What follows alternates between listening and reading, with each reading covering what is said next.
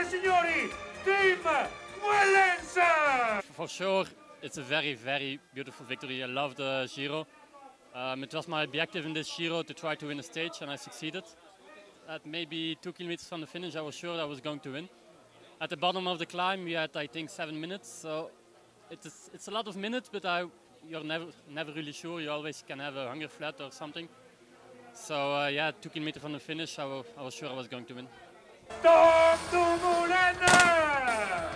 I'm a quick learner, actually. Uh, when I started cycling, I, I knew nothing. My family didn't uh, wasn't into cycling, and nobody nobody I knew, and uh, I taught myself everything uh, by myself, and uh, of course with the help of everyone. And I tried to listen to everyone, and um, slowly I'm developing into into yeah a physically good rider, but also a smart rider, I, I guess. Um, I was feeling good and. I uh, tried to coach uh, uh, Ludvigsson and Preidler in the beginning of the climb to not stress and to ride our own pace.